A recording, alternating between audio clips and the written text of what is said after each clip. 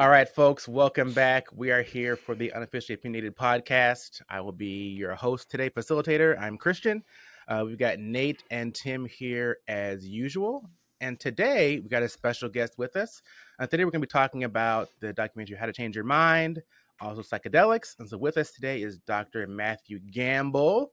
Uh, sir is a certified Gallup Strengths coach, which I think is really cool holds a doctorate in transformational leadership, which he's very passionate about, and also um, started a company, Magnetize Global, where he does coaching and other things there, as well as many hats this guy has. Uh, director of operations at Living Wisdom Church, which is a nonprofit 501c3, and there they hope to kind of help create safe and sacred spaces for healing and growth. So that is Matthew Gamble. In short, thank you for joining us here, sir. Welcome. Thank you, gentlemen. It's it's truly an honor to be awesome. here. You know, Yes, absolutely. An honor to have you know, we, have kind of crisscrossed paths. We were talking earlier. I recall you actually spoke at, I'm pretty sure my high school graduation some 20 years ago. And that's where I first kind of met you um, at Auburn Academy. And then we've kind of crisscrossed kind of since then. We were at university around the same time. I was undergrad, you were in grad. Um, we were, I guess, for a little bit kind of actually co-workers. Um, when you were kind of a minister, I was working kind of the, the finance office out there. Um, you did something out here at a church that I attended uh, maybe 10 years ago or so. And so we kind of crisscrossed paths here and there. Um, when we started this podcast and we are thinking about different topics, um, I thought, okay, how can I get Matthew on the podcast? What can we talk about? So I saw this documentary. I said, hey, this sounds like the perfect thing to actually discuss. So I'm excited. I'm, I'm very excited. Yes, you yeah, and me I, both. And I gotta say, I, I, saw I saw your Clifton strengths, and it said woo, adaptability, communication, and positivity, and futuristic. I was like, that's really cool. So mine, I did it a while back. Since you're this is your realm, you'll see why I'm like this. I've got input is number one, relator, mm-hmm. maximizer. Mm-hmm. Then I've got strategic and analytical. So that's what you're going to be dealing with t- today, Matthew. I, I, like all the information. I like all the inputs. I like to bring it all in. So uh, that's where we're at. So love it. Glad you came with us today. Love it. Love it. All right, guys. So the Thank topic you. today is psychedelics. So I looked up kind of there's all kinds of definitions about what a psychedelic is. So I forget where I found this one, but it said it's a drug or a group of substances that change or enhance sensory perceptions, thought processes, and energy levels, um, and sometimes used to facilitate spiritual experiences. So I guess Matthew, in, in your journey, how would you define kind of what a psychedelic is and, and, and, and what it does? Uh, well, for starters, a little bit of backdrop with the word psychedelic. In in the '60s, it that word psychedelic got a very bad rap. Uh, there was a professor at Harvard University. Uh, his name was Dr. Timothy Leary and Nixon at the time declared Leary uh, the most dangerous man on the planet or in the United States for his advocacy of psychedelics, specifically using LSD.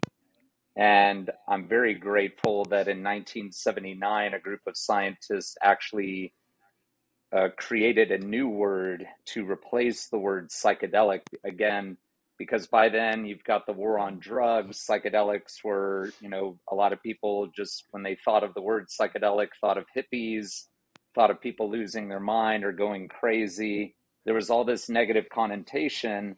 And in 1979 this group of scientists said well wait a second. Actually these compounds are are awakening something within the human experience. It's awakening awakening these these psychedelic compounds or these experiences are are giving people as you said in that definition at the end there spiritual experiences. So they coined this phrase entheogen. And what entheogen means literally is the god within.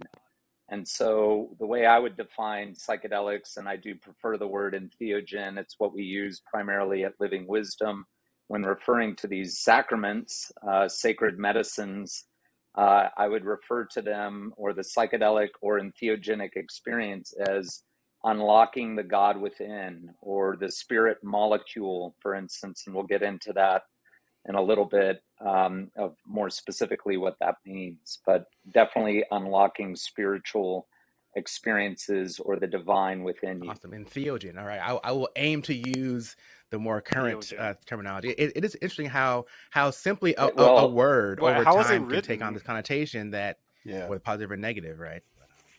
For sure. For sure. So entheogen is E N T H E O G E N. And if you like, as a pastor, I was studying mm-hmm. theology. Mm-hmm. So theology is the study of God. Entheogen is again, it's using that word theo, uh, standing for God, or theos um, in the Greek, and and yes, again, just focusing on the spiritual aspect. And don't get me wrong, I mean, psychedelics is fine. We can use that word interchangeably. It's just, again, it can have a lot of negative connotation and for right reason. I mean, these medicines are can be extremely powerful and if taken or ingested in the wrong way or in the wrong set and setting, which is often uh, referred to as being an important part of ingesting these Absolutely. medicines, I refer to them as medicines. Um, it can result in a very chaotic experience, a very uh, uh, psychologically disturbing experience, and often often does, including myself. Um, but that's where the set and setting, where you know, what is your set, what is your mindset ingesting these things. So, a lot of people are turning to these medicines, and that's part of what I'm passionate about. You know, for hopping on podcasts like this is that a lot of people are turning to these medicines, these allies, but they don't have the background and they're ingesting them in set and mindsets and in settings that are not conducive uh, for their journey. And it can be extremely scary. It can awaken psychosis um, and have all types of negative implications. Uh, but when done in a healthy setting and with good intentions set ahead of time, these medicines can provide literally ineffable experiences beyond description, um, while at the same time helping an individual. And I'll, I'll, just go ahead and put this out there. Mm-hmm. Um, you know, as a Christian pastor, where I was left questioning and wondering what the hell is going wrong with, with me or you know I'm I'm devoting my life to Jesus I'm showing up at church every week I'm preaching my guts out I'm studying the Bible I'm eating communion I'm I'm fasting I'm praying I'm I'm doing all the things but I'm not experiencing inner transformation mm-hmm. uh, so at the core of my being you know I was longing for a transformational experience of biblical proportion. And I believe any Christian is entitled to that. It's what's presented in the Bible. Uh, the Bible repeatedly tells us that we should have experiences with God that are very living, that are very transformative. And yet, and this is no offense to those who are plugging into church and are experiencing God in transformative ways, but for for it took me a couple decades. I converted at 21 into Christianity from atheism, and that's a story in and of itself. And my story just preceded me. My conversion story preceded me and just set me on this path of of being this evangelist. And two decades, over two decades later, as a senior pastor just down the road from where I'm seated right now, I just realized man, I'm not experiencing what I'm reading in scripture. I'm proclaiming it with all I have. I'm believing it with all I have, but it's, you know, I'm, you know, what have you done for me lately?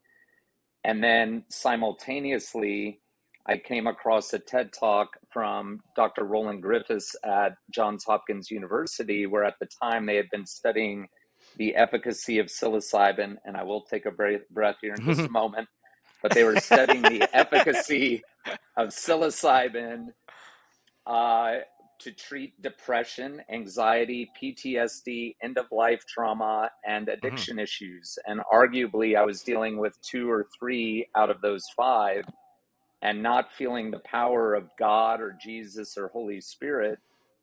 And Johns Hopkins is treating people with one psilocybin uh, journey in a clinical setting. Again, a nice, safe set and setting. and with unprecedented results in all, all five of those areas. And as their studies now, well over two decades, have they been studying it? They're finding other categories uh, where these these natural plant allies compounds are providing people with transformative healing. And ultimately, I believe as a human being, we deserve it. Absolutely. You know, for yeah, I, I, know Nate agrees. So, so for us, you know, I think my my first entry to into any of this really was this Netflix documentary um, by Michael Pollan, right? Um, now he, he's a professor of science and, and, environmental journalism. Where I really first saw him was watching the Food Inc. documentary, like back in 08. and I was at that time watching a lot of those types of things, just getting, you know, just looking at food and health and kind of you know, just kind of seeing how it's yeah, just right, like freedom, like like how it became so industrialized and a lot of just a lot of the greed and kind of yeah. corporate nature and governmental oversight that was kind of seeping into it, right? And so that time, you know, from that perspective, the Food Inc. thing, it kind of changed how I looked at food. I mean, I didn't radicalize my whole life. I'm not out there, you know, growing my own stuff, but it definitely did change how I viewed food, how I viewed kind of official proclamations about food and which ones are healthy and what is not and all of that right? And so you know having seen him you know involved in that i didn't even realize he was involved in this documentary until i turned it on. So so i i turned it on and i was like wait a minute i recognize that guy like i've seen him before. And so just kind of seeing his progression from kind of he's always been about plants and nature how he progressed kind of from food over into the medicine piece um, specifically, this documentary just go, goes yeah. into LSD in one episode, psilocybin, um, MD, MDMA, which also known as ecstasy on the streets, and then all, and then ended with mescaline, um, in in general, but also looking at um, peyote and the um, the other cactus. What was it called? Yes, Huachuma. Yes, yes, So okay. Yeah, like, say, really, so the, the, the question is for I guess for also you and Tim is you know for you guys, what was your kind of thoughts around ethnogenic plants and other things um, in, in this realm kind of before you watched the documentary? Kind of where, were you coming from? Yeah, for me, like I was not, excuse me, I did not hold uh, um, psychedelics in high regard, to, to, be absolutely honest, honest, just because that's what's been preached. When I say preached, I mean that's what's been taught and you know whatever.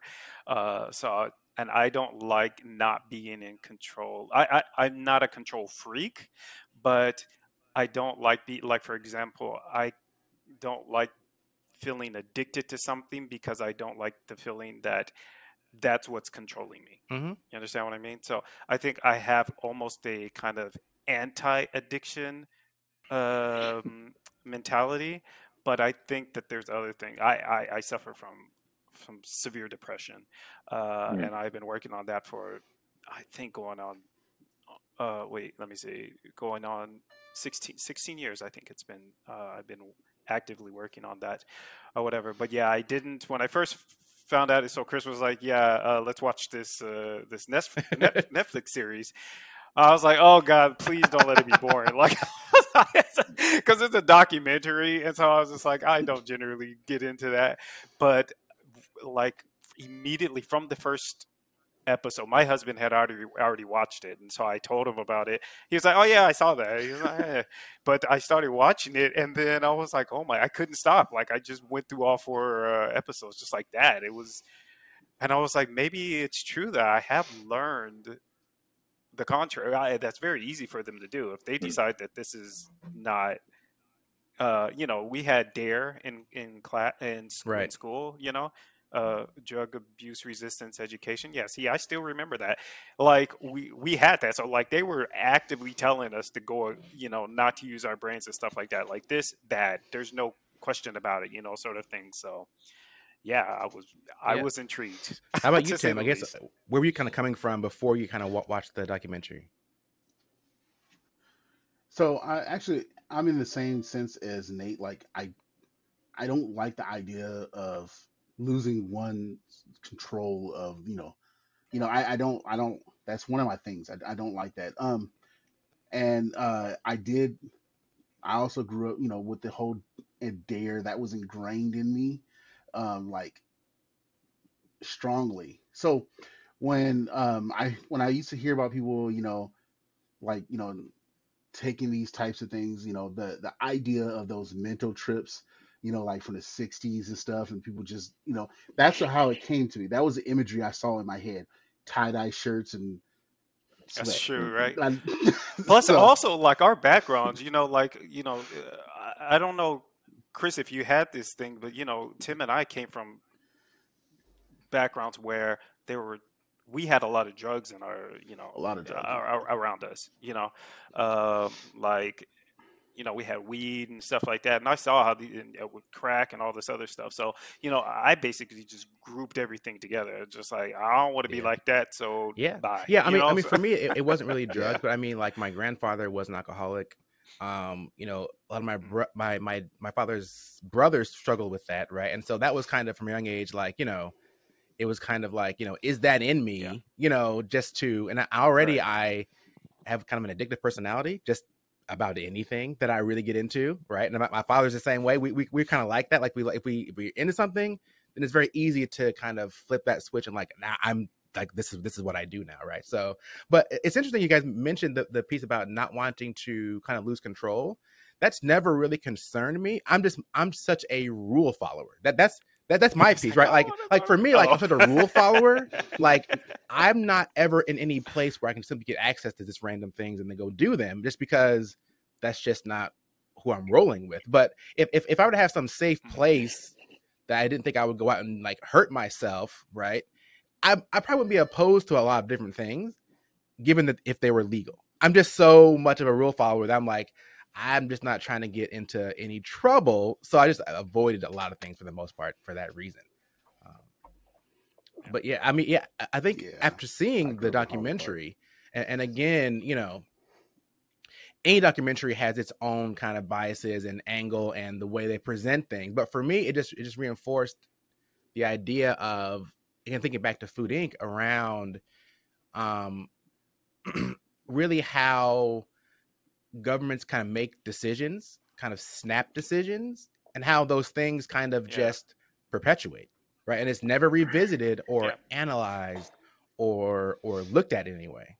and even and even so uh, matthew maybe you can speak to this but like even when we i I don't know how much resistance people would get back from even being re-educated but in the opposite way you know for example if i took this and i told you know like for example if i told my mom i'm pretty sure she'd be like no no that's just you know regardless Of sort the of thing devil. because yeah yeah basically sort of thing regardless of whether they're like oh this is better this is more um th- this is positive maybe they'd be like oh this is um what do you call that you know hedonism or they're just trying to turn it into Mhm. something that i don't know do you have that type of pushback from people when uh, i guess like trying to re-educate them about uh, the positivities of Are you asking me? yeah i'm asking is it because I could see yeah, that I- being a thing Well, I there's a number of things y'all have presented just now that I would I would love to hit on that really ties Yeah, into that ahead. question. So this notion of of you know not wanting to lose control, I would really challenge you to consider that your whole life has been filled with programming that has absolutely forced you unbeknownst to yourself into a a out of control state where you are completely at the mercy of what you have been told is right and wrong. Um, furthermore on the front end of this conversation when we were getting our sound and everything balanced you guys were talking about these movies that you want to go see. And when you go and watch a movie it's going to impact your brain um, and arguably you're going to be out of control out of your emotions or how it's going to impact you or there's going to be things that you're going to see that you weren't planning on seeing. And all of those things have an impact.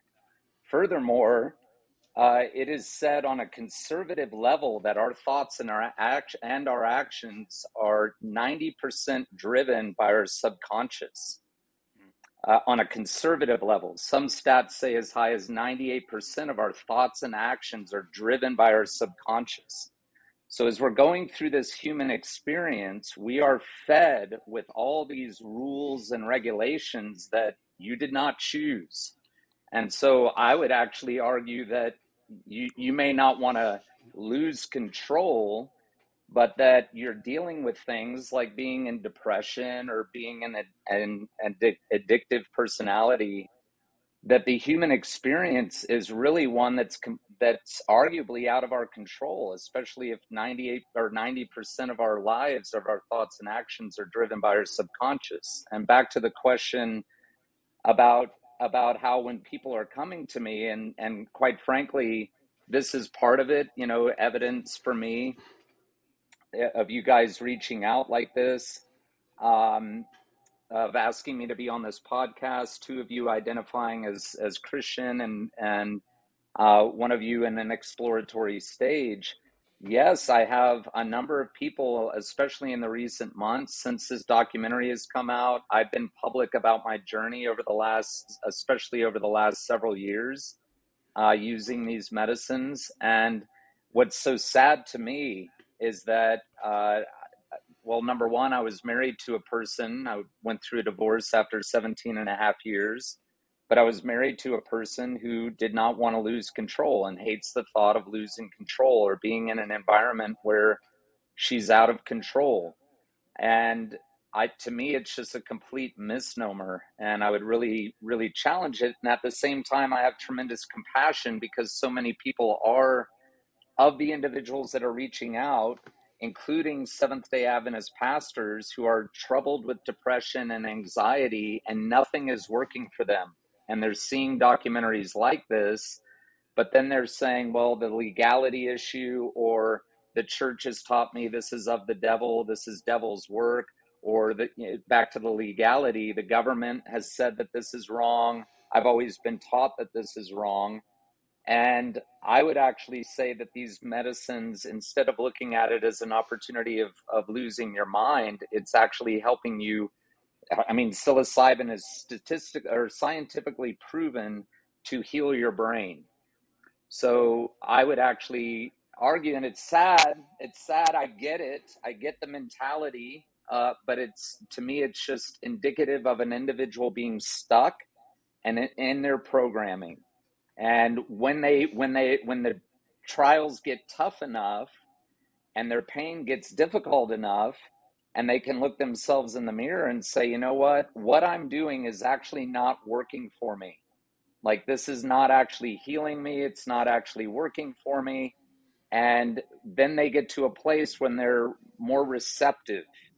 And when they're receptive, then possibly they're willing to step into a safe and sacred space where what's going to happen is yeah, there's they're going to they're they're going to be out of control. There's going to be parts that are out of control, but what in that out of control state or stepping into that void, they're also going to be w- awakening pieces of them that potentially have been dormant that they have not given attention to for their entire lives so that's why I love the, the name of this title of the, the documentary series based on Michael Pollan's book, How to Change Your Mind.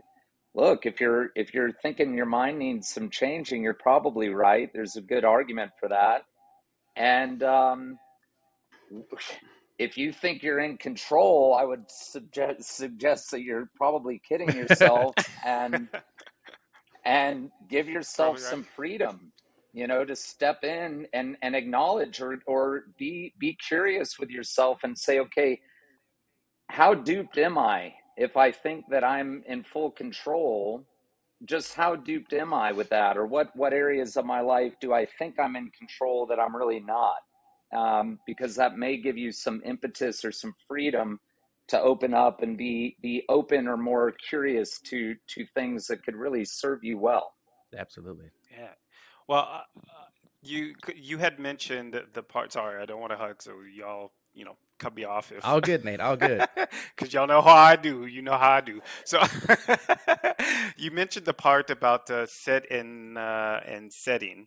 So psilocybin is also known on the street as uh, magic mushroom, right? So I have friends who actually use magic uh, mushrooms. And after while I was watching this um, this series, I was wondering. Actually, I was kind of like juggling between. Like I said, I I, I struggle with um, depression.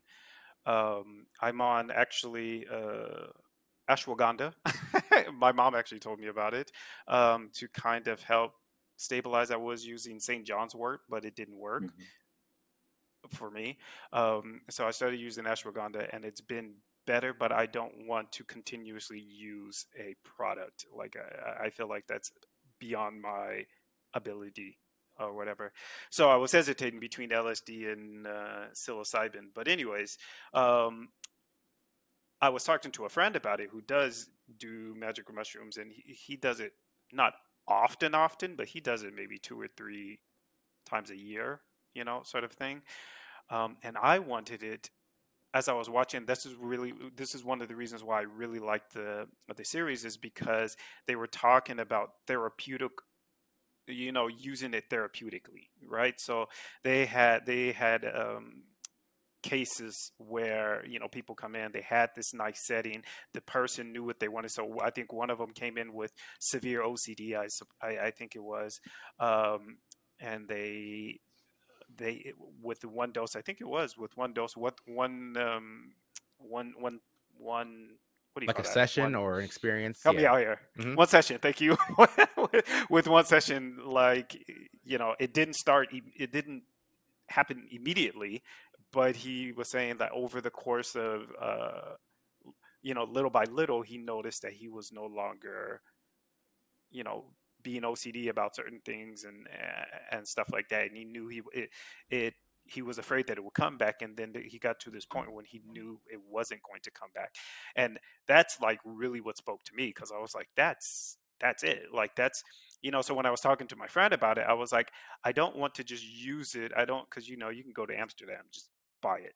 But I was like I don't want to do that. I want to be in a setting where this is therapeutical where I'm telling you, you what I want to accomplish. And it's not just depression. I feel like if I take one of these things in the right setting, I I feel like this is what I told God. I feel like I would unlock my brain. Uh, I don't know what that means, but I feel it. so so anyways, yeah, that's that's that's why that was very interesting for me. That uh, that set in setting. I think it's it's important. Yeah. Um, especially with myself, like, you know, growing up the way I did, I seen a lot of people on a lot of different things. Oh yeah. And so that idea, that so that's where I get that idea of losing control. Mhm. Mhm. Um, because I've seen it, you know, um, and there's nothing fun about it. Maybe to them, but there's No, at it, first nothing maybe, but it. then afterwards, Yeah, it's like, you know. But but after now, you know so so that that's where i got that idea of losing control. And i and i understand that you know like you know that we don't have a lot of control uh, about the things that that goes on around us and what we're influenced by all the time. So i guess it's not that kind of control i'm talking about. I mean just the idea that when when i you know that i can't take the reins when i want or at least feel like i can't take the reins when i want you know that's the control I'm talking about. I know that I really don't really have all that type of control about everything that goes on around me, but no, because uh, you you know we were talking about re- religion, and you were like Mm. still kind of hesitating with your you know religious thoughts, which shows. I mean, I- we had this episode where I was talking about how I felt like religion was brainwashing. Uh, yes, you know, Steve disagreed, but I just felt like that was one of the, that was one of the cases. We don't have a lot of. I found myself thinking when I'm doing stuff, even though I'm far removed from our religion, uh, I found myself thinking things that I wouldn't think normally had I not been brought up in that Yeah. religion. Mhm. You know, um, for example, which day we're going to keep for the day of rest. Right. You know, sort of thing. Like, Yeah. I feel You, so you know, bad sometimes. a, a, a a prime example of, of I'm that, Nate, was you know Matthew when when you had that church back in Seattle, right? Um, I, I had recently graduated, graduated from, from college, come home, came home, was looking for some place to go. Now, in myself personally, I don't think I'm very conservative, right? I, I don't I don't care about rings and jewelry and all kinds of stuff. Like I don't care. Like I, I'm past that. But at the same time, for a while there, in this transition from kind of what I was taught to what I was to living what I truly believed, I would go to a church, someone had jewelry on, and it would bother me. Even though mentally I I know I don't have a problem with it, it was like an internal reaction. I remember go, go, going going to the going to mm-hmm. the church and there was coffee, right? Like those kind of things, right? I don't have issue with coffee. I don't have the I don't care the coffee in church, but it, like it would it, at that at that time, like it was it was still bothering me. Like years later, like some I don't know, twelve years later now, my church they have a whole coffee bar you can go to and get coffee, hot chocolate, whatever, and it's so normal to me, and I don't think about it, and I don't I actually literally don't care anymore.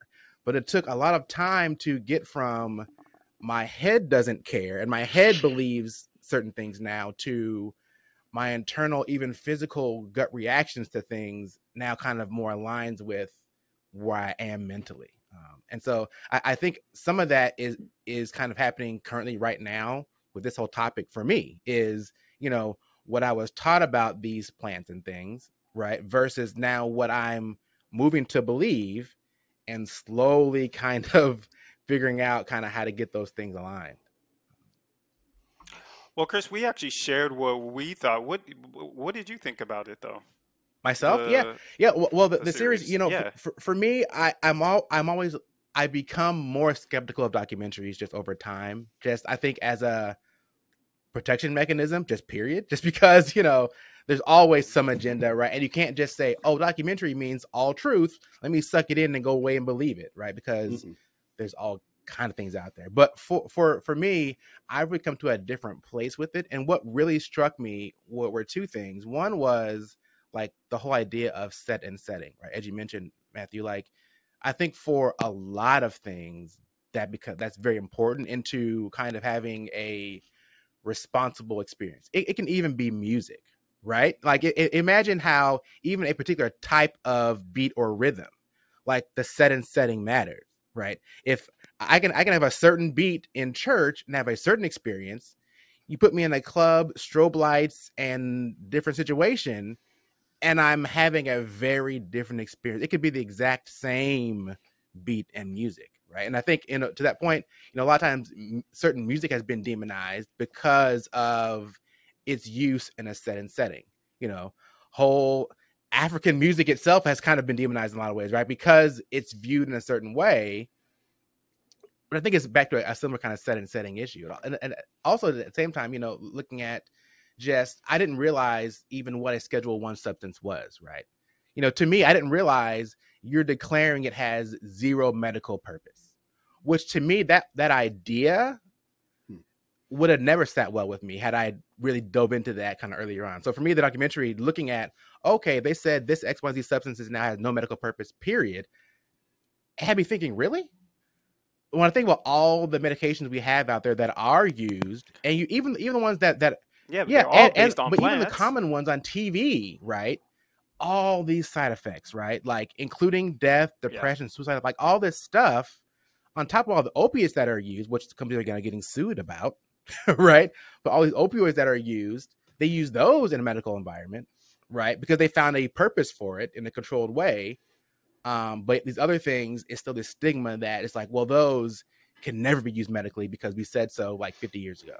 So that that's really the far of the documentary, kind of what kind of changed my mind. You know, I think it's, it's a double meaning, right? is is looking at things as far as you know, how can it be used appropriately and for what?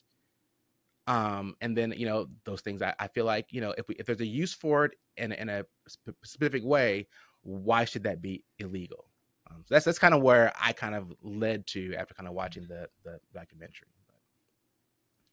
Okay. I, I guess I guess Matthew, for you, you know, having kind of been on the journey already before the documentary, did anything about the documentary itself kind of hit you in a certain way, or strike you, or even maybe give you hope in in in, in some ways? Well, well, and before you before you answer that question, I also because I was re- I was reading on your website, um, you ha- you had mentioned that you had um, you were I think you were addicted, right? You had uh, some addictions. Is that correct?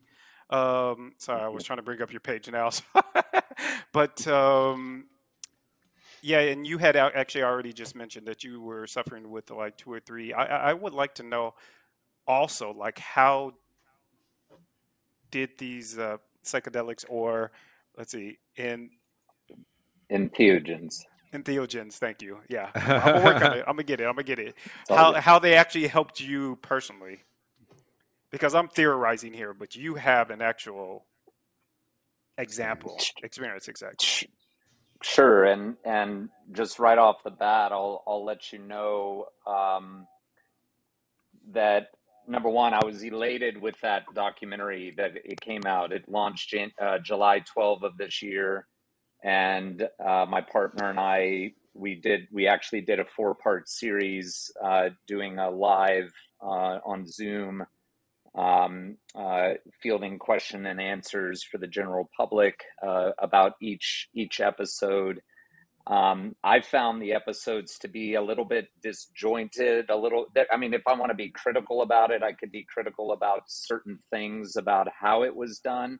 But overall, I was just so elated. And then when it launched, it was trending in the top five on Netflix. And it just served as greater impetus i think for more people to get on board as you're all testifying right? You didn't know about it or you hadn't thought about it. And then you watch this documentary. I had read the book how to change your mind which i think is far better than the documentary. Um, and goes into much more detail over psychedelics and entheogens the history of psychedelics and entheogens especially in this nation in just brilliant fashion. I just adore Michael Pollan for his bravery and his willingness to to dive in and try these substances himself. And unfortunately for me, back to the question of how these have impacted me, I am not a one and done. Uh, so when I saw that OCD guy, I mean, I was elated for him, and that testimony was just incredible or or the woman that the the uh, I think she was a Catholic lady later in later in age had a terminal disease and no longer feared death after one treatment.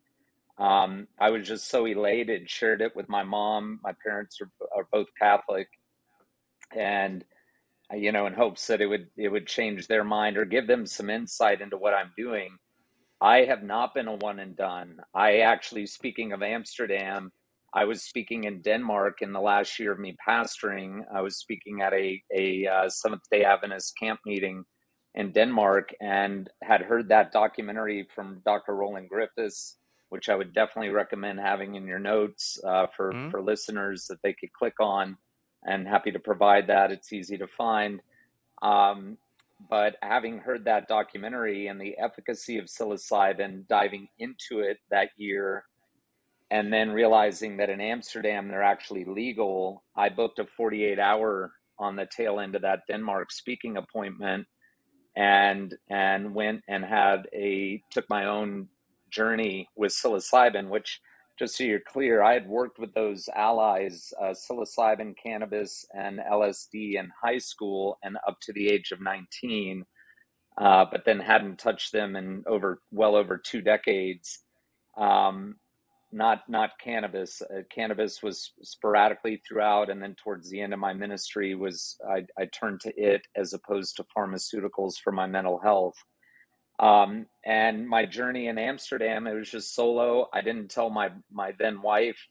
That was part of the dissolve of the marriage. Was you know there were aspects of my life that I was stepping into and feeling drawn to that she just could not could not support and in that desire for control as well in part i'm not trying to blame it all on this but in that desire for control seeing me head down this path brought up a tremendous amount of fear and anxiety for her uh, but you know the the journey in amsterdam it was incredible uh, but it wasn't all that i was looking for but it did set me on a path and I won't go into the whole story unless you want me to, but I I then ended up uh, that that was the catalyst for me to to realize I need to resign. I can no longer keep pastoring. Um, I want to turn to this path and journey, and then that resulted in the dissolve of my marriage. Um, and I started on this journey of of I was you know when when i will say this on on the spiritual realm i find that as people are calling these allies into their lives that they have an incredible way of getting in touch with you at the right time Um, I'm not saying it works that way for everybody, but it, it certainly did for me. So I was able to access psilocybin. Um, it, the the specific strain that Terence McKenna speaks of uh, quite a bit may shock you. It's called penis envy, but it's one of the higher concentrated psilocybin um, strains that are available. There's I think there's a couple hundred strains of psilocybin that are available. But I started working with that that strain of medicine. I would weigh it out. Uh, so I was doing it calculated, but I was also doing it alone because I didn't have anybody. I didn't right. know anybody um, yeah. that was wanting to support me, or or I was really in a in a stage of a season of a lot of loneliness, solitude, and desperation. Uh, but I started working with it um, with with with significant intention. You know, I'd plan it. I would fast. I would prepare. That day in Amsterdam, I got on my knees and opened my Bible and read John three and four before ingesting the medicine. So it was it was the the setting, the intention was there. Um, but for me, my journey has not been a one and done. But I will tell you today that you know I resigned in 2017. I really started working with the medicines in 2019 with a high level of, of consistency. In 2020 is when I met my partner Amanda, who um, we, we she is a medicine woman, has her medicine uh, ordination through uh, Medicine Path Native American Church, and and we worked together in ceremonial settings yesterday. As a matter of fact, just before getting on here, we had guests leaving who were here overnight so every first and, and third Saturday of the month, we host uh, ceremonies with entheogens in a safe and sacred way where people have to apply. They, there's a whole process for it. Uh, but we are creating a our you know our mission as was alluded to on the front end here is to create a safe and sacred space for our diverse community to learn heal and grow together and we just believe so heavily that these medicines are healing people. And for myself, um, I would present a couple things. My my addiction, or what I was labeled an, as an addict, and and I could go off on that whole uh, label. And the I was in twelve steps for a big part of my my adult life. Uh, was a sex addict. I was addicted to pornography and masturbation, and unfortunately, looking back on it now in my life, I was never taught the sacred nature of sexuality and how to treat my penis with with sacredness and see it as the incredible gift that it is. And what these medicines have done, not just in my awareness of, of the sacredness of my penis and, and sacred sexuality, but what these medicines have done is arguably awakened elements of my subconscious that were completely dormant, that I was completely out of touch with, that I was completely unaware of.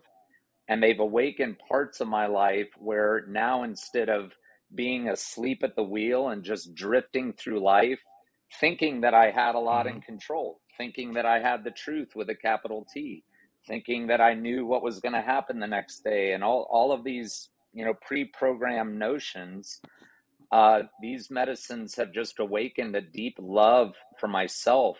In the not too distant past i was i was taking uh, ayahuasca which you may have heard of. Unfortunately they did not address ayahuasca in the documentary. It is addressed in the book.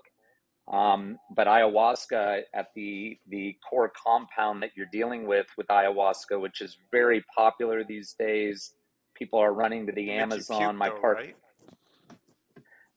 Yeah, often, not... not, always, yeah? but oh, often. Okay. But but but the beauty, and this is this is again, this would be a great case in point. Thank you for mentioning the puke word. So when you get when you get into these medicines, so bless your heart for growing up in Seattle and Capitol Hill and seeing crack addicts and people completely out of their minds on different drugs and and dealing with all types of mental health. One of the largest homeless populations on the planet, you know, or in the nation anyway, is there in Seattle. And so you're seeing a tremendous amount of dysfunction. And if that's the mental image that you're thinking, or if you're thinking about somebody's taking this medicine and it's going to make them puke, uh, the the beauty of the puking which we actually refer to as getting well. And in our ceremonies, every participant is gi- given a bucket. They don't they don't keep it, but they are provided a bucket for that purpose because purging is actually with these medicines when they come into your body. I mean, think about it. Mycelia mushrooms are covering the entire earth. And in these medicines, when you ingest them, they come in and start awakening parts of you, and parts of you need to come out. Parts of you need purging. Parts of you need removing. And so the the purging or the puking, as you refer it to, is actually a getting well, where we will often celebrate it um, uh, with various words of celebration, or and we always presence it on the front end of our ceremonies. That listen, in our society, when somebody's vomiting, you're like, oh my god, this is gross. It could be, it could trigger a response where you're everybody's right. throwing up. We've seen movies with that happening but in this setting, we actually help reframe people to see that the medicine is doing its work and is clearing things out that need to be removed. And I promise you, uh, God willing, each one of you, I'm not advocating that you do it unless you're called to it. I'm a huge advocate that you do do it so long as you're called to it. Um, but when you purge and have that cleansing experience, I can promise you this much you will be extremely grateful. It's painful, it's difficult, it's challenging. The Buddha taught that, that this world, this human experience is suffering. Uh, Jesus would, I would argue that Jesus experienced quite a bit of suffering on this planet. I think if we were to go down the line, that every human being that's here on this podcast here now, and anybody that's going to listen to it is dealing with suffering. And what you're longing for is healing. And unfortunately, as government is realizing now, we screwed up. We made a huge mistake. This war on drugs is completely ineffective. And not only that, but we took allies that could that are now showing the mental health, all of psychiatry, psychology, and pharmaceutical companies are speechless at the efficacy of this natural plant that the government made illegal. Maybe you've seen the meme Western where world. Jesus where Jesus is is has this like look on his face. They took a picture of some, you know, artist depiction of Jesus with this, you know, skewed image of his face. And the, the meme is saying, you know, God made these psychedelic plants government made them illegal and jesus right. is like you I've know what the heck and and before i forget too there's another great book that just came out this this year called the immortality key that if you're open to it it will totally unpack for you and speaking of Seventh day Adventists, it will totally unravel the fabric of Adventism that presently, not to digress, but just to get this off my chest, the Adventist church is spending millions and millions and millions of dollars to debate whether a human with a vagina can be a minister or not. Oh, millions goodness, of, do- of, dollars on, on this. I'm not trying to go down this path. um, uh, but just to, to presence for you, in the immortality key, not only did this non psychedelic using individual, he's a PhD linguist. Uh, I, I, uh, his name's, I believe, Michael, and his last name is is hard for me to pronounce. But, um, but in this book, he tracks and discovers that the original Eucharist that the Christians were taking, that the original spiritual people were taking, was psychedelic in nature. Had the psychedelic compound called ergot and that these people were ingesting and having these experiences. And when you look at people like Moses at the burning bush, which some scholars really believe is the acacia plant that was on fire, and acacia just happens to be one plant on this planet that, like your body, has DMT, the spirit compound in it. The acacia plant has a large uh, amount of DMT in it. And they believe some scholars believe that Moses was having a DMT awakened experience. Or as Jesus takes the disciples and has this this transfiguration experience and we all think that that just was that was normal for them. You know that was this normal occurrence for granted it blew their minds uh, but could it be that entheogens were being used? And if you go down this rabbit hole if you choose to and it's only coming i mean i'm i stand here sit here right now with tremendous amount of joy because the momentum is just coming and building and i believe that these plants are just coming to the rescue of humanity because arguably humanity is going to hell in a handbasket thinking that we have it all in control believing mm-hmm. that we don't want to lose our minds and reckon and for some of us we're waking up to the fact that dang the, the pill i swallowed is not all that it's cracked up to be and I believe more and more Christians and are recognizing that Christianity is just simply a paradigm. All religions are are and this is another rabbit trail. I won't try to go on it too hard, but it's just simply a paradigm. And when you step out of for me when I stepped out of Adventism, I liken it metaphorically to a a warehouse a Christianity warehouse. And in the Christianity warehouse, you have all these shoe boxes of, of denominations. And when I jumped out of the Adventist shoebox and I'm like, okay, I'm a Christian now. But then at some point, I, I walked out of the, the, the warehouse and I stood outside of the Christian warehouse and looked down Warehouse Row and realized there's all these religions out here, but God is so much bigger. And what these plants are doing for the human race again done in a and setting that's sacred and in our our understanding the sacred setting that we offer has the greater efficacy than even the clinical setting uh, if the clinical setting calls to you we fully support it. God bless you. I covet. I would love to try it myself. It hasn't happened for me.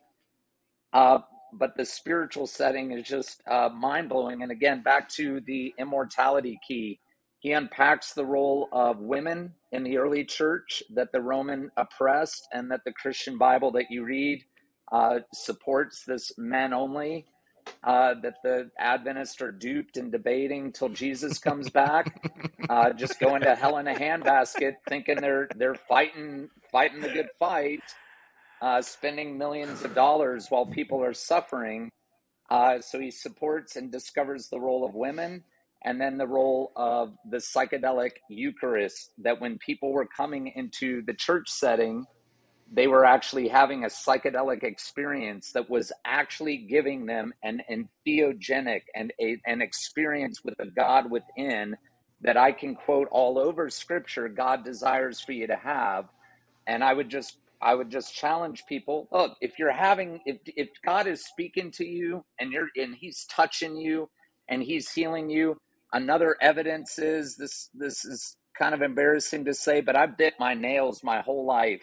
These medicines are healing the anxiety in my nervous system, and I'm no longer biting my That's nails amazing. today. I'm no longer looking at pornography. I'm no longer masturbating like a, you know, an uncontrolled individual it's awakening the God within, the divine presence within, the, the very gift that Jesus said. I mean, Jesus said, Look, I and the Father are one, and we are going to make our home inside of you, which actually means what Jesus was teaching there is that you will become God. That's what he that's what he's advocating. You're going to do more, you're going to do greater things than you've seen me do. How's that happening? Well, God is coming within. And I would just challenge you, you know, if somebody is sitting in their Christian experience and saying, Yeah, I can sing songs, I can drop coin in a bucket, I can hear a good sermon and go home, but my life's not changed, then show me, tell me about this OCD dude who gave who was willing to put himself in a really difficult situation. If you watch yeah. his journey, it was not it was enjoyable scary. for him.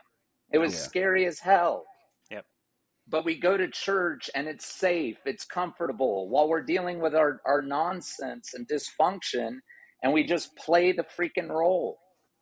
You know, and we debate on jewelry or coffee or vaginas, and to, to keep us distracted. I'm sorry, I should not be laughing. distracted. I want you to laugh, but to keep Yeah. us distracted from the real core issue, and the core mm-hmm. issue that breaks my heart is is humanity is suffering today Yeah. in epic proportions. And what breaks my heart is when people do call me up and say to me, I'm so stuck. I wish I could do these things, but they're of the devil.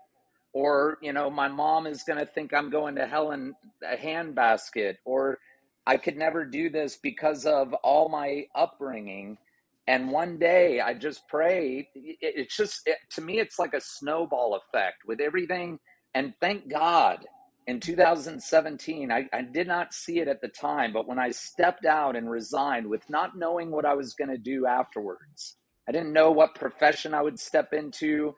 I was I was unemployed. I ended up homeless. I ended up losing everything: my title, my position, my reputation, and no one calls, no one cares, and I didn't know. It was freaking crazy. I was on the ground in the fetal position multiple times, crying, just un unaware, like what is going on. And so today I sit here with just a tremendous amount of heart, compassion, passion, um, and genuine belief and knowing in my being that no one can take from me. That God is giving me an experience with Him that I was longing for in Christianity that modern Christianity could not provide me. So thank you for Hey, listening to that rant, Mercy. absolutely. I mean, you are definitely passionate. Like I was listening, I was there.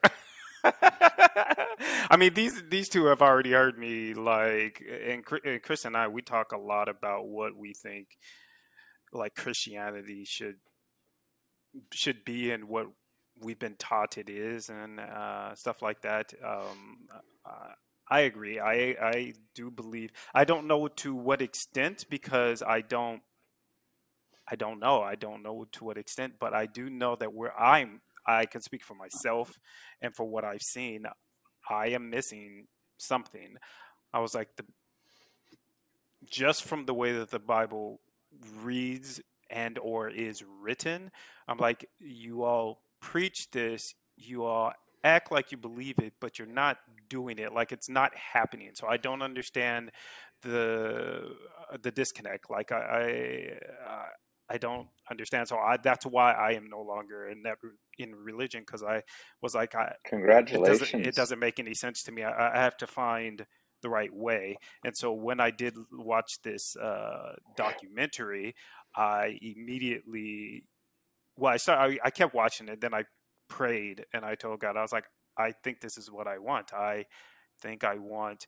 And the reason why I wanted it in a therapeutic session is because, well, I have an intention and I just, there's, like I said, I just feel like it would be unlocking my brain. Like, um, I don't know, like I, I- it's almost like I can see what my brain can do and yet I cannot do it. I I don't know if that, uh, if that makes any sense to any of you all, One hundred percent, it does not. but uh, so but the the thing was i was talking to my husband about it i was like "So- but i don't know if i want to do if i should do lsd or if i should do um psilocybin you know i was like i don't know Psilocybin. which psilocybin sorry i'm just Yeah. messing up all of these technical Yeah. words It's all Yeah, it's actually good. Nate, like to uh, talking. the- the one thing that yeah really I think struck me about the documentaries, let's start, start specific medicines, was when they're talking about people using the MDMA or ecstasy, and they were talking about being able yeah to talk about sad things and not be sad, right? The the, the the ability and to not be yeah kind of yeah. go places and and and work through the thing without without all the baggage of the anxiety and the sadness and all the other stuff kind of getting in the way. Um you know like yeah. like i was thinking about you know you know th- th- i think the, the, there was a there's a couple that was talking about how you know they've had a lot of discussions as a couple that way right? They were able to have have the discussion about the thing without all the additional anxiety and emotion kind of getting in the way and i was just hmm imagining being able to really you know as, I- as i hear about all these different medicines you know a lot of it sounds to me like really just kind of being able to go to the place you need to go to in your brain like free of all the baggage, like all the stuff that's stacked up, like all all kind of the things you were taught kind of interfering and really just kind of going to the thing and like meeting it like raw, right? Which I, I think is kind of a, a very powerful thing. Yeah. Mm. I the the one thing I, I will admit that is uh, it I would still do it, but it is probably something that might be a break to a, number of people, uh, and would be a break to me if I wasn't so intent on understanding. Uh, would be the scary part. So, like this guy that was suffering with OCD, he saw him. He said, "I died." Like he didn't say, "I saw." My, he, he he said specifically, "I didn't Mhm. see myself died. I actually died." And that's not something people want to. that's not something people want to gener- uh, generally experience. Um, and I started thinking about what I would experience. Um, so, like for you know, growing up uh, in the Christian church, I had heard all these stories about like, well, obviously the stuff that's in the Bible about casting out demons out of these people, and you know, I think in one story he was like. The, the, the man was like rent or something. It was like it rent him before you know it came out or something like that. And I'm like that that sounds scary. And then you know Jesus is Mm. talking to these other demons. I don't want to do any of that, you know, sort of thing. It's not. Uh, that's not something that really uh, draws my my interest, um, and I am very avoidant of pain or stuff like that. So uh, that would generally normally be something that prevented me from wanting to to do it, but I am so intent on where I believe that I want to be that I'm just like I think it'll be worth it. You know, it's not, I, and Well, and I think maybe it might be just temporary. I'm not really sure. Yeah, go ahead. and and Nate, if I can add, my brother, you're you are you are you want to be avoiding of pain, but you're living in pain. You've presence today that you you suffer from depression, Oh yeah, yeah. and and it's often you know it's often in this lifetime that we have to go through the pain. You know, uh, Jesus says, "Pick up your cross and follow me." Um, it's often we have to go through the death in order to get to the life. And and arguably we are all suffering from ego. I thought I was a pretty humble dude when I was a pastor. I loved being approachable and and always stood I was always the last person to leave the church always. I mean, I just would stay by. I wanted to be available to people. This season of my life has has helped me go to depths in in my life and and watch areas of my life shed off areas of ego shed off uh, to help create and and awaken room. I want to congratulate you on using ashwagandha uh, a natural substance for your mental health and and i really do look forward to because i suspect in your near future I'm not a prophet here but i suspect in your near near, near future with your openness and your bravery for what you're presencing, that one or the other of these substances would come to you. Um, I have my I have some thoughts about that. I'm happy to talk to you off and to anybody. And by the way, I want to make a quick plug that every month my partner Amanda and I are on Zoom to host a free entheogen preparation and integration circle on Zoom where we get on to just field anybody's answers, um, anybody's questions about entheogenic work, and that's a great place to dive in. And I'm also complete for anybody that's listening to to completely available. This is my my life work and and journey um, at this time. But back to your suffering and avoidance of suffering, you're living in it and while these things can be very difficult, and while purging can occur, it's all for your highest and best. You know, this is why, you know, arguably Jesus modeled for us dying at the age of 33. He didn't have to, uh, but going through this, it's for his highest and best and for the best of humanity. And for you to heal, I would argue this is why we do things like fasting and do spiritual disciplines. This is why we sit in meditation and, and in com- uncomfortable places. Um, this is why we face challenges in our life and we're often provided at doorways and we can choose to either keep numbing out and just go down the numb out path or to just go down the brainwash path or, or go down the systems that we've been born and raised in. Or we can say wait a second something is fundamentally like uh, there's something i'm aware of something just ain't ain't fully right here. Yeah. and i'm gonna i'm gonna be open to a to another way. And i would argue that if it for anybody listening that if you're looking for some true healing try doing something for yourself that you've never given yourself permission for. Uh, because uh, likely right at right below the surface in that 90% and keep in mind you have 50 to 50 to 80,000 thoughts running through your noggin every single day, every day. And the majority of them are on loop from the day before. And the majority of those thoughts guiding your actions are guided by your subconscious. And what these medicines are inviting you to do is awaken parts of you, as I said before, that are dormant. And yes, there, there can be pain. There can also be a lot of glory in these psychedelic or entheogenic journeys and trips that people take. It, it can it, it's the yin and yang uh, you know of this this human experience. But ultimately it will birth large healing as long as you are stepping into it in a in a reverent way in a respectful way. Um, and even for some people outside of that it can provide incredible incredible healings but I believe in that safe and sacred space or in that clinical setting um, that you will find yourself some tremendous healing and, and really encourage anybody who's considering to to step out in faith, follow their gut uh, if it's calling to them. Absolutely. Okay. Well, I appreciate that, Dr. Matthew Gamble. I, I, don't know that I'll be going down that path necessarily anytime soon, but definitely I'm on the path of learning sure.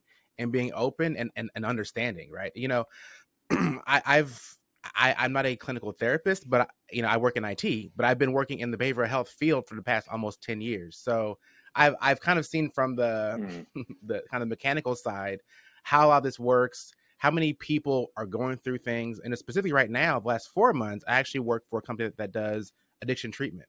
Um, so we, we run mm. rehab centers, we run addiction treatment centers, and outpatient and sober living housing and really just seeing um you know the work we're doing but also seeing how many people keep coming back right? And and the expense of all of this right? Like like i, I would hope that you know i don't think it'll happen but you know the way i see it would would be you know our job would be hopefully to work ourselves out of a job right that you know we heal enough people that way they don't really need us anymore right but unfortunately the way a lot of these a lot of medicines work is that you know they help temporarily. And so for me, I, am I'm, I'm looking forward to a, a place where you know with these ethnogenic plants and treatments that we get better at really healing people's minds, right? Really getting to the root of it. And so it's not a continual, you know, relapse and come back and cycle, but really, you know, start healing people. And there's not as much money in that.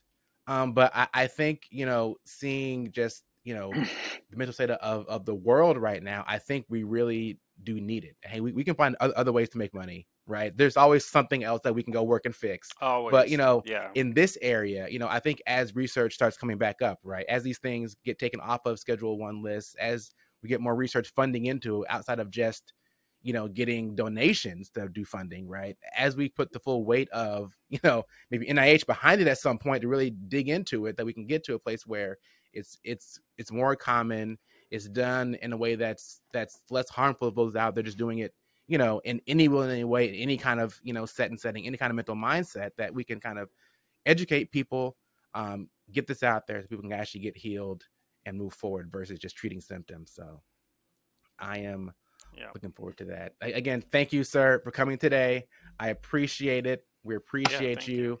Um, I know folks can find you at magnetizeglobal.com. That's kind of your your coaching wing. Um, they can schedule a one hour session to kind of mm-hmm. start off with to see kind of how you can help them with that. Mm-hmm. Um, any other kind of things you want to plug or places that, where, where people can find you? Thank you for the magnetizeglobal.com. Great place to connect with me there for individuals or couples work or consulting for businesses. And then uh, livingwisdomchurch.org is our nonprofit 501c3 um, where we, we provide safe and sacred settings again for our diverse community to learn, heal, and grow together. I'm on the gram quite a bit these days. I hope that ends at some point in my human existence. But for the time being, I am using social media platforms. So on Insta, you can find me at dr.matthewgamble. And I am totally, again, I, I just, if anything resonates or if, you, if somebody is hearing this and wants to disagree, um, I welcome any, any calls, feedback. Uh, I am available for the human race and uh, really commend you, gentlemen. It's been a pleasure to be on here today. Uh, thank you so much for having me on. I wish you all the best in, in this journey of unofficially opinionated. Uh, I love it, um, and and I can only I can only hope there's more that I would just love to share, but um, uh, yeah, so much gratitude for all of you and and appreciation and hope Absolutely. to be in yeah, touch. I, I, suspect we'll have a, a part two of this, Nate, potentially. Um, so hey, we we, yeah, we may have you back again. But again, thank you for coming. As always, thanks to you, Nate, for being our sound editor slash engineer. We appreciate that. Uh, big big thanks to uh to Tim. Tim is our, our graphic designer. He does all the the fun artwork. This logo he did for us, and as you see on YouTube, our thumbnails, that's him as well. Uh, my son Jaden does our theme music, so you know he's out there at some point we'll we'll, we'll get you guys his oh, uh his uh I think soundtrack was where he's on with his music out there. So he's doing that on the backside. But yeah, find us online. Uh, we're anchor.fm slash unofficially dash opinionated. You go there, you can subscribe directly in Anchor or click any of the other podcast links. We're on Spotify, Apple Podcast, all the fun stuff. We're on YouTube. So find us there. We're on all the socials Instagram, TikTok, Facebook, YouTube, Twitter. We're on there. We're not consistently in any given place, but we are there if you want to kind of track us down. Yeah, hey, come there. Come comment, leave a message. Just look I'll, for I'll be somewhere. doing some more reels here pretty soon, so it seems like people like those. So yeah, we're out there. So come find us. You know, like, subscribe in your podcast thing.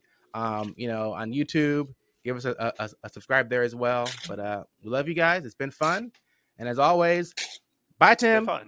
Yes, bye, Tim.